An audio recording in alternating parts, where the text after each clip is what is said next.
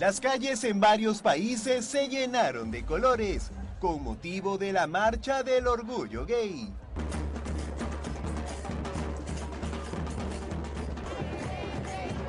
Con eslogans y banderas arcoíris, defendieron los derechos de la comunidad LGTBI.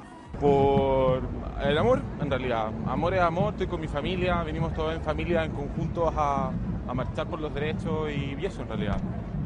Países como Chile, Singapur y por supuesto España, considerada la capital mundial del orgullo, se sumaron a la marcha. 52 carrozas recorrieron el centro de Madrid en la celebración que reunió a más de un millón de personas.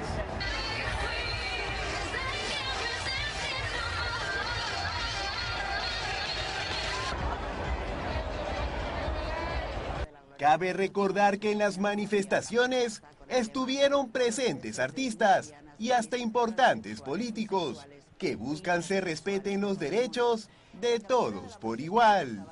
Es fundamental que todo el mundo pueda ser lo que quiera ser, quien quiera ser, sin que nadie se atreva a impedírselo. El World Pride 2017, que tiene lugar en Madrid desde el pasado 23 de junio, cederá la batuta de la próxima edición a Nueva York. Bueno,